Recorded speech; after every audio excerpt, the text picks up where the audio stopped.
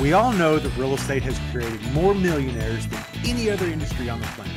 We also know that it has created a lot of heartache due to mismanagement, overborrowing, and just simple life events that happen to all of us. Welcome to the Cash Flow Pro podcast. My name is Casey Brown, and I am your fearless leader. And although we might be bourbon sipping and at times foul mouthed Southerners, we will always do our best to be honest, straightforward, and due diligent with all of the information we pass along to you. Welcome to the show. Hey there, and welcome to today's episode of Cash Flow Pro, your daily real estate investing podcast and YouTube channel. And today I am here with Yannick Cujo Virgil of uh hang on i had to get that out of i had to make sure i said that right so i got off track but with Merlynn Acquisitions so Yannik how are you today?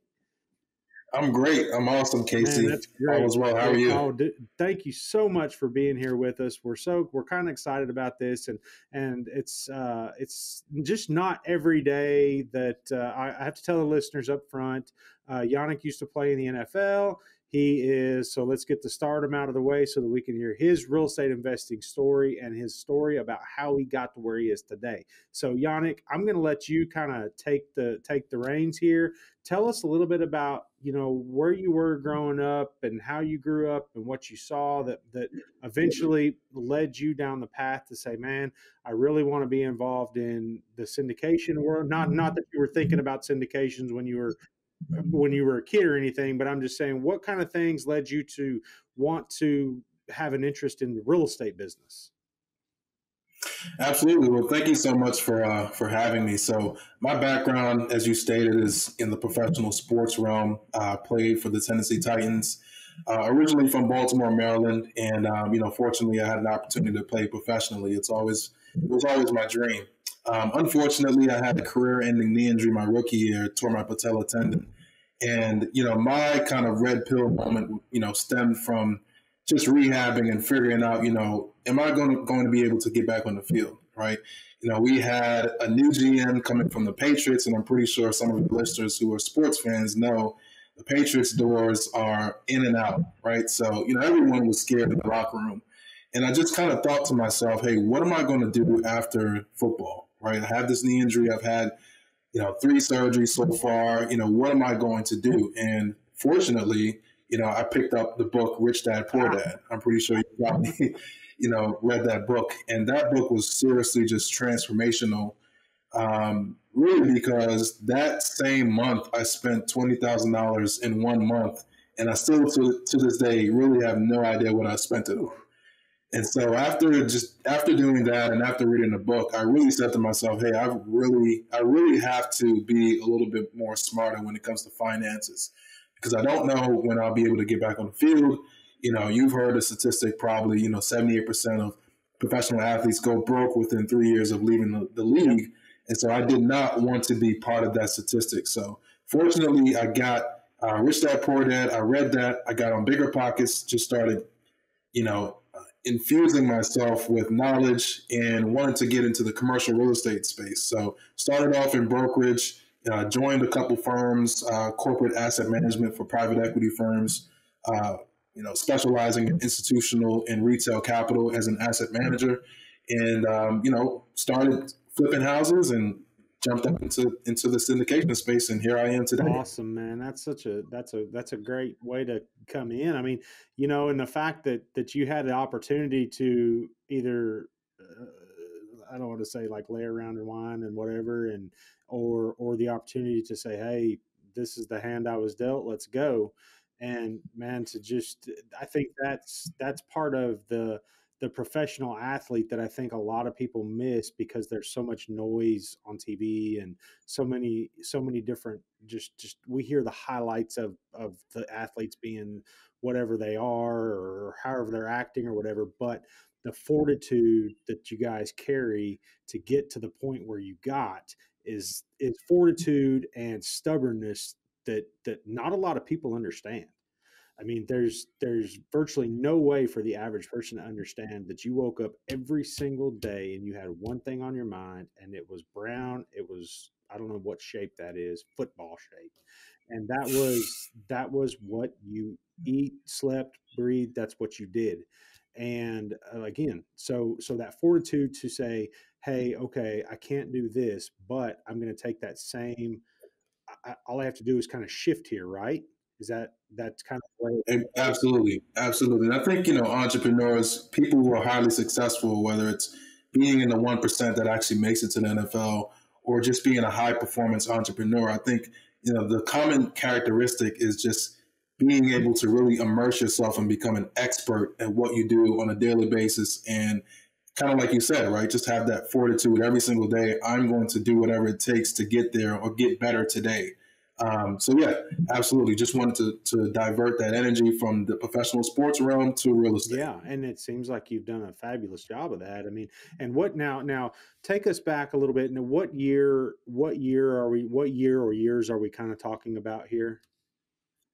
So we're talking. So I graduated from the university in 2014. Uh, my first year in the league was 2015, and I retired 2017. Gotcha. So right about that late 2017 ish timeline is when I actually made the decision to shift into real estate. Cool. So you played your first year 2015 at the Tennessee Titans, and then and then spent the next two years kind of rehabbing and figuring out if you were going to be able to to to get it done or not. Absolutely, absolutely. And you know, it was, you know, a really tough time just trying so hard to get back into the NFL and and I tell people all the time, you know, just the the the mental struggles that you have to deal with from being a guy that's you know trying to keep his spot on the team. I mean, you know, people come in during the season. Think of every you know uh, Tuesday, right? In the NFL, Tuesdays are days off. Um, every Tuesday, you have about 10 guys coming in to try out to take your spot. And think about that in the corporate life, right? If you had people that were coming in every single week to, to take your job what type of mental pressure that would be on you. So, you know, um, you know, it was a lot within that two year period, but you know, fortunately, I found uh, real estate investing. Awesome, man. That's great. So let's kind of shift towards that that end of things, and and let's get away from from what got you where you were where you were and let's kind of shift into and say let's talk about your first deal. I mean when you first got into this space and and you said hey i've, I've got to i've got to go down this path or i want to go down this path what uh, you said you started in the brokerage side of things where i'm assuming you listed and sold or or, or something along those lines correct Yes, yes. More specific to the uh, commercial real estate space. So, you know, I started off in brokerage, uh, focused on multifamily investment sales because I knew that I wanted to get into the commercial space um, and office and retail tenant rep. So, um, you know, doing some boutique, you know, small neighborhood retail um, leasing, but also, you know, focusing on the multifamily investment sales. Awesome. And then that that led you like so we're talking like 2018, 2019, and then yes. 2020, something like that, led you to um, to to the syndication world. And well, right. Yeah, yeah. Well, uh, started, you know, uh, 20, say 2018, 2019 was when, you know, during my brokerage kind of phase. And, and then I moved into the uh, asset management space uh, for retail and institutional uh, private equity companies. Um, and actually, a few weeks ago, um, I quit my job officially, so I'm full time syndication. Awesome, dude. And, that's that's probably the most kick ass thing I've heard all day long. Uh, I mean, that, you know, I mean, that's sorry, man. I that that's that's awesome, dude. That's so like Thank I love to hear that. That's great. Uh, what was your degree in? Kinesiology. Kinesiology. Kinesiology. Man. Yep. I thought that I was going to play 10 years in NFL and own a gym and just sail off into the sunset. Wow.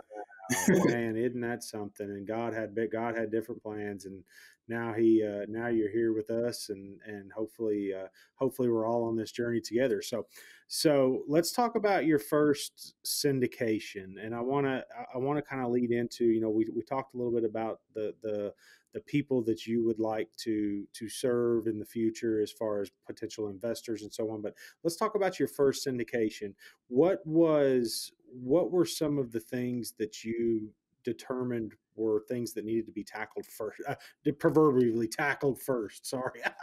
yeah, yeah.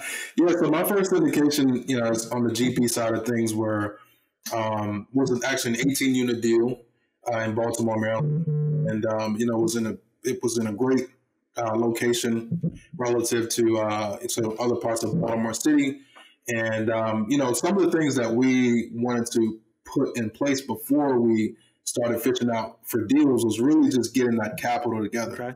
You know, um, but even beforehand was really focusing on what is our investment strategy, right? Because um, I think that's something that's really important as investors to really figure out. Okay, you know, start from the foundation. You know, what am I actually trying to achieve? You know, our goal is to create passive income that allows us to pass it on for generations and generations to come. And we found that multifamily was a great investment vehicle in the commercial real estate to do so. So we started off, you know, we wanted to, we wanted to do the, the multifamily uh, investment, and then you know we wanted to get the capital together. And I think a lot of people, you know, contrary to what some people say, you know, if you find a deal, the money would come. Um, I am I do not agree with that.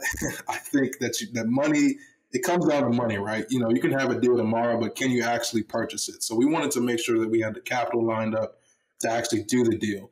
And then from there, from us getting the capital, then we started reaching out to brokers. Uh, fortunately, I met my partner who was a syndicator prior to us doing business together. And we formed a relationship and started really going out there and talking to brokers, talking to properties. I'm sorry, um, you know, touring properties and really building that team. And by him being a syndicate a syndicator, you know, I just leveraged his relationships with attorneys, um, his property management company, all the infrastructure that he had to go out and do my own first deal with him. Awesome, awesome. Now, obviously, that so you so you so you have the money lined up, and in the meantime, you're built. Well, you have the soft commitments. I I assume correct. Okay. Yes. So you've got the soft commitments lined up, and now you're building relationships with the brokers and you're trying to find you know you're you're you're basically just kind of stirring here seeing what kind of comes to the top right okay yes. and what was the first deal that jumped out and and or how many deals did you have to underwrite before the first deal really jumped out and you were like whoa here it is well you know one of those businesses and, and you know just real estate in general it's you know you really have to think about underwriting 100 to submit on 10 and probably get one. Right. right. So it's you know it's it's a, it's a really big fishing game. You know you really have to open up your lead pipe, pipeline to, to actually get a deal. So when we were able to find a deal that made sense financially, it penciled out.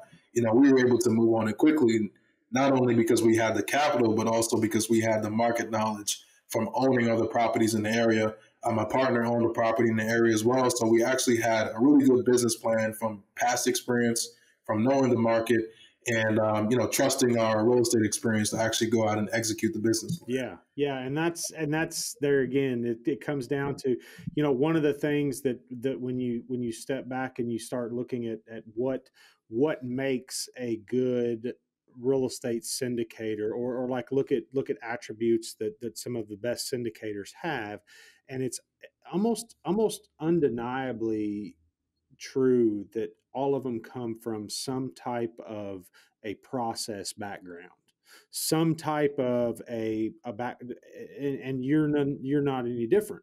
You could because because every day you'd get up you had the you had these processes and then then those daily processes were lengthened out into weekly processes and the weekly processes lengthened out into monthly processes and it's the same thing and i always i've always said that like like the majority of of the passive investors that that at least we see are somehow related in the medical field or somehow related in the uh, engineering field and those are two of of the most probably processized if that's even a word uh, uh, uh, careers.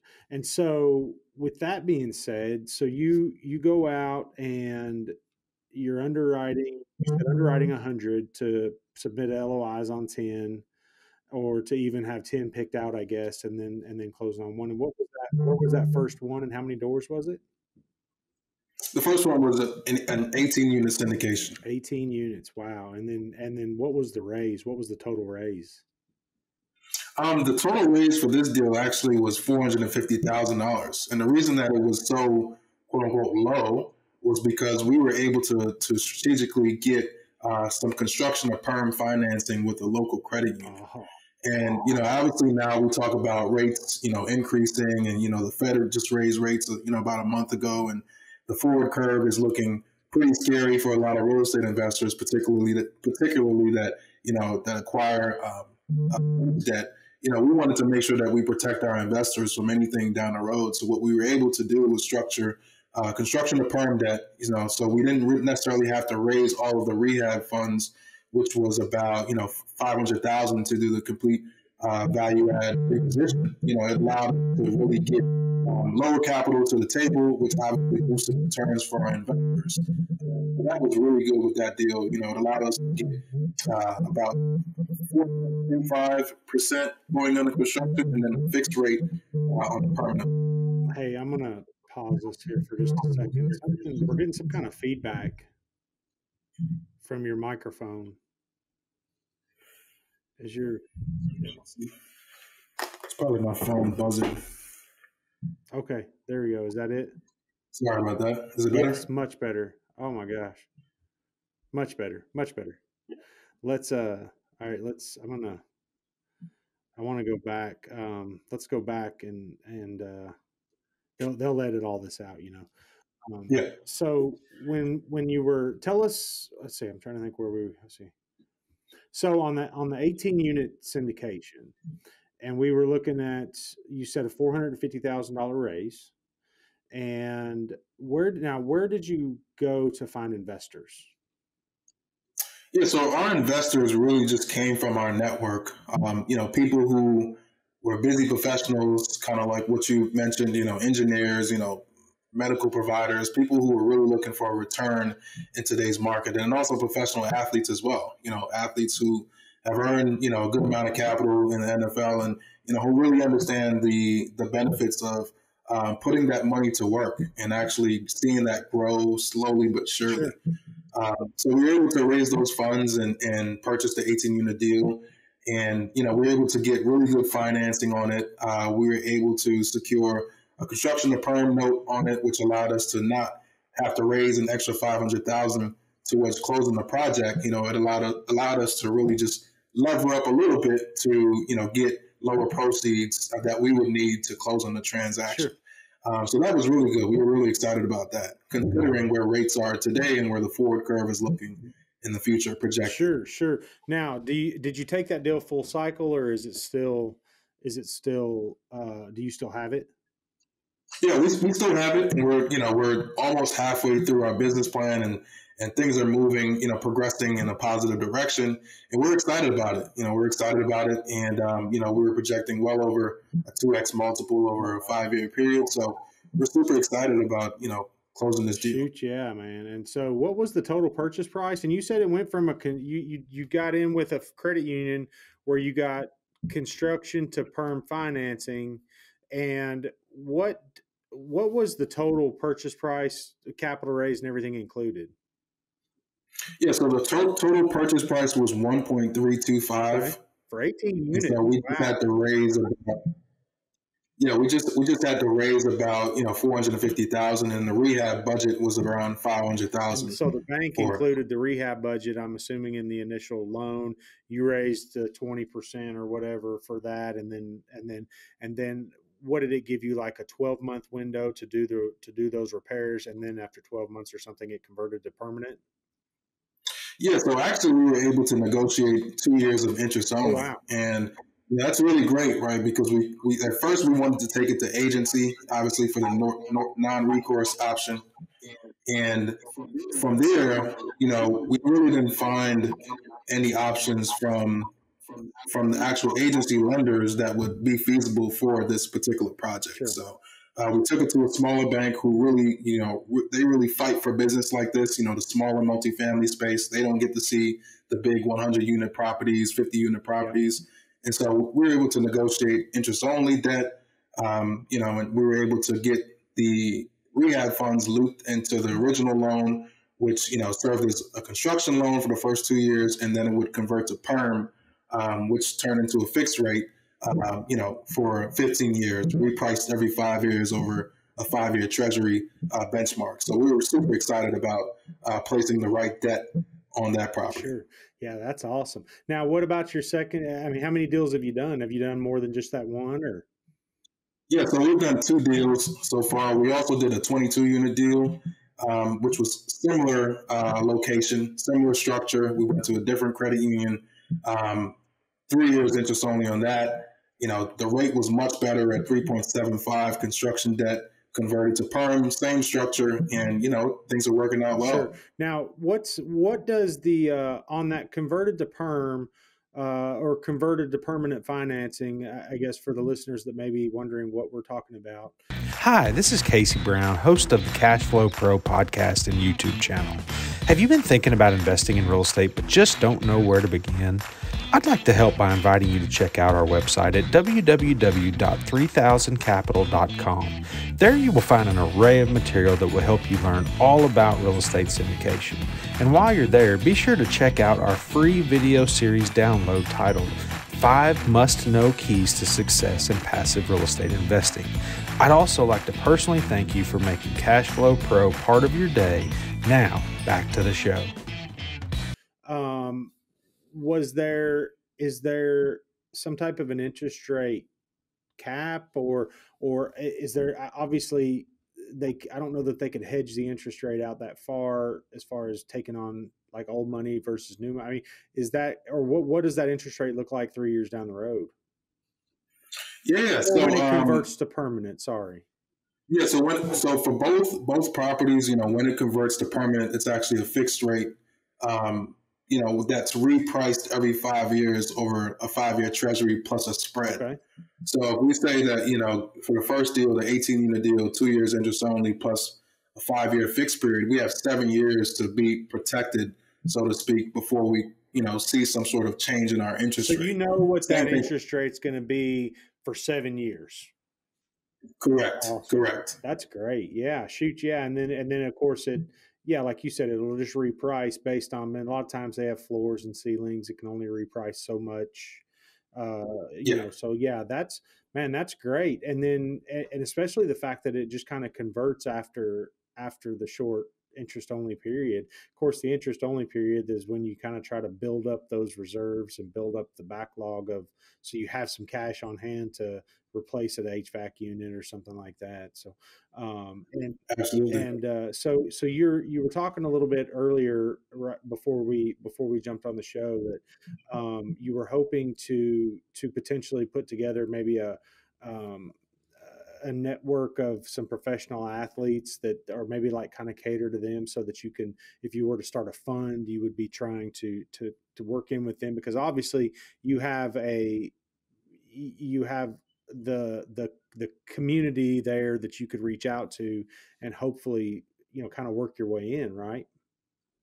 Absolutely absolutely i think there's an, an amazing opportunity from that perspective um, considering that you know professional athletes kind of uh, they they talk to each other more than they would talk to anyone that wasn't in that locker room sure right? sure. Um, and so being able to to to use that network to to help folks, you know, protect their their their wealth, to help folks, um, you know, get a return on their money. You know, it's it's it's it's. I'm super excited to to have that opportunity. I think you know, in the professional athlete space, you know, a lot of them, you know, even myself when I came out of the University of Maryland and then went to the NFL, you know, I didn't necessarily have investment knowledge. Sure. You know, I knew about saving. My parents taught me a lot about saving, saving, saving. But when it came to actually making some, um, you know, financially astute uh, decisions, you know, on the investment side, I really didn't know what to do with the money, right?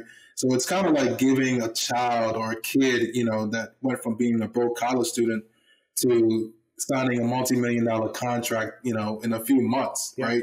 You know, anyone that has that type of money and is still, you know, very relatively young at 21 years old, you know, they're just they just got done partying, right? Right. So, right. Um, you know, just providing folks or uh, you know specifically to the professional athlete space with an opportunity to not only um, preserve their wealth but also grow it as well is something that we were really excited about and we're really passionate about considering that I was literally in that phase you know a few years ago. Yeah, it hadn't been that long. I mean, you're not that far separated from it as as far as and it and it's you know the opportunity. I, I assume the opportunity to be able to tap that network is probably like anything else. It gets just a little bit of a smaller possibility every day that goes by that you that you you know when you start looking back you know start leveraging that and start saying hey guys come over here and check this out i want to help you know and and i'm sure that as as a professional athlete whether mm-hmm. for any sport i'm sure they're inundated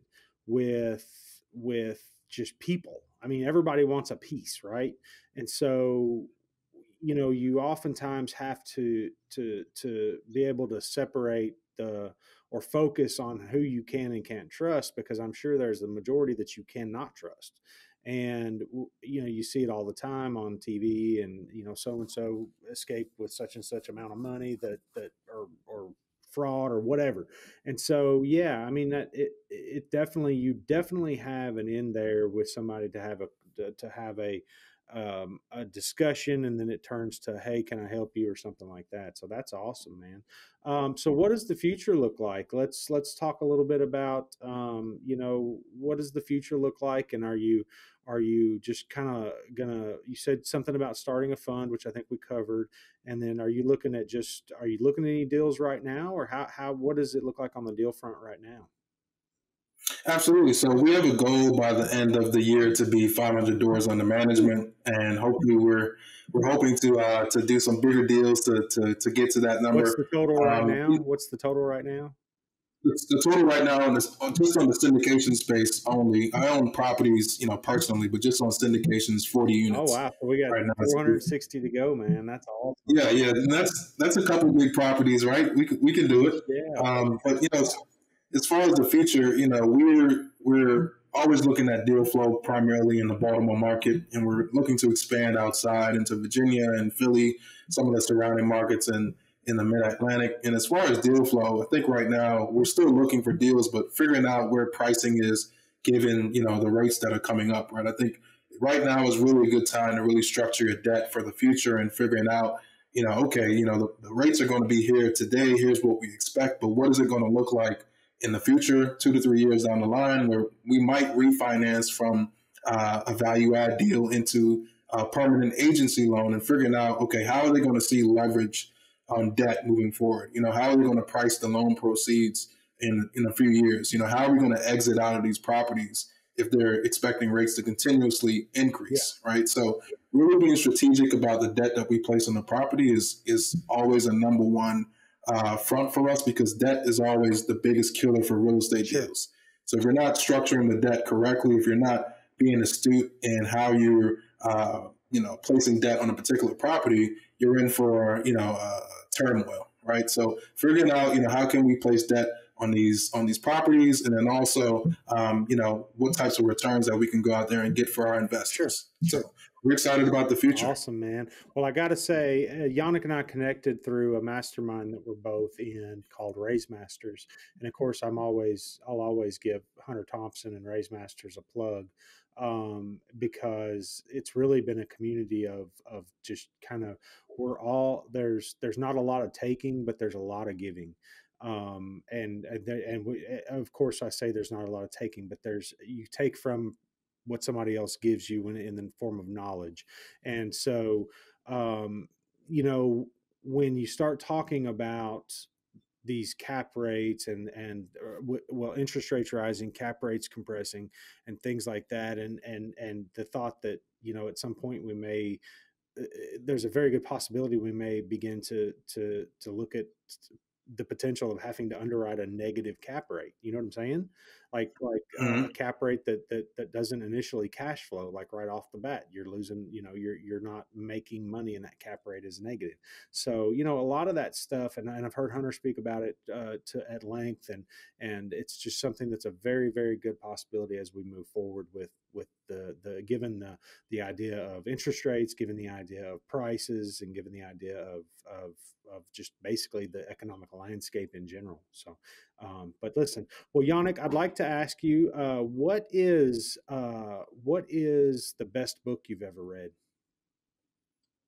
The best book I've ever read. Um, you know, I, I think I'm going to keep it cliche and just say, you know, Rich Dad Poor Dad. To be honest, because I think, um, you know, I, I'm I'm big on you know what has actually changed my thought pattern in life, you know, and what are the big monumental changes that I've experienced and what has caused me to make those changes. And I think just that book alone, you know, I can't wait to just pass it down to my kids because, you know, just being able to change that mindset from being a consumer to an investor sure. and just focusing on, you know, long term wealth, um, it's truly amazing. And just being able to uh, quit my job, you know, a few weeks ago and, and, and have that passive income to actually replace it is truly amazing. Yeah. So, um, yeah, that's what I would say. You know, my uh, the best book I've read. Awesome, is. man. Now, where is uh, what's the best uh, trip that you've ever taken, or where is a where is uh, somewhere like a dream trip that you'd like to take? Yeah, I would say that the best trip that I've taken so far um, was the trip uh, I think a year and a half ago to Tulum, Mexico, with my girlfriend. Uh, we had an amazing time out there we're able to actually uh, swim across from stingrays and and do a whole bunch of just you know visiting the Mayan ruins and really just taking a step away from the business life and just relaxing for a little bit. You know, syndications, although it may look you know glamorous, you know when you're starting off growing your business, it's really hard just being the you know the, the point of contact for everything in your business, right? So just being able to step back, you know, take take you know a couple days off and just relax you know, it's truly rewarding. It's so every uh, so yeah, that's good.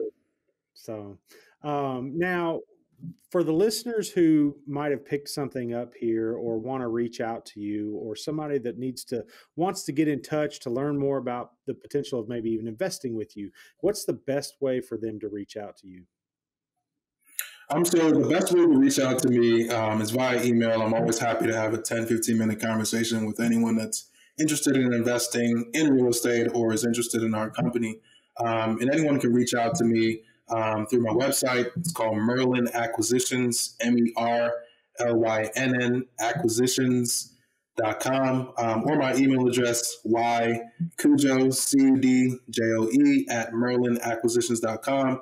Again, I'm always happy to have a 10, 15 minute conversation with anyone that's interested in real estate. And the one thing that I want to leave here is just being able to um, perform due diligence in real estate is, is important, right? So if anyone wants a due diligence checklist, feel free to go to my website and get a free checklist as well. I'm always happy to just provide value on all fronts. Awesome, man. Thank you so well, much, John, Casey, thank for you for being with us, and we certainly appreciate your time. We know you're a busy man, and and we want to thank you again for being with us. So I hope everybody has a wonderful rest of the day, and thank you for listening to the Cash Flow Pro.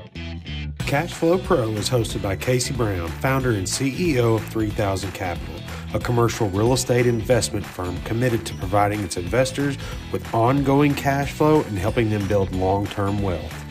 If you enjoyed today's podcast, make sure to hit that subscribe button so you'll be notified about all our future episodes.